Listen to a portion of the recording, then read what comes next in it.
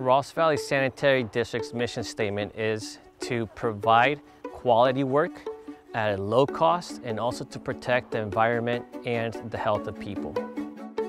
My name is Manny Vigil and I am the operations supervisor for the repair crew. We are your local sanitary crew that takes care of all the repairs for the entire district.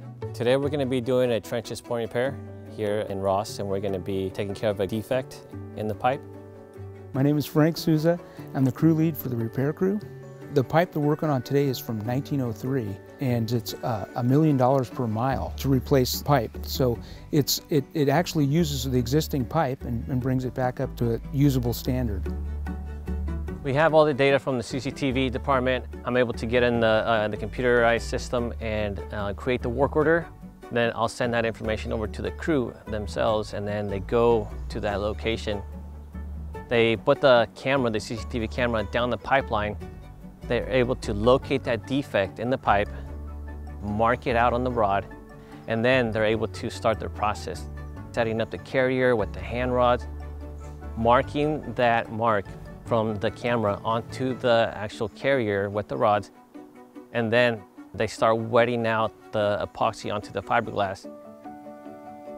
They tie it onto the actual carrier, and then we're able to send it down the pipeline.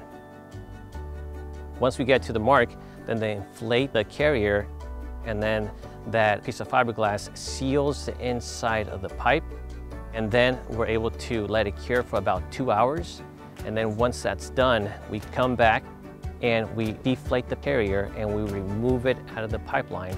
And then we're able to, at the end, put the camera again into the pipeline and make sure that our repair came out good. It covered up the defect. We close out the work order, upload it, and then we're done.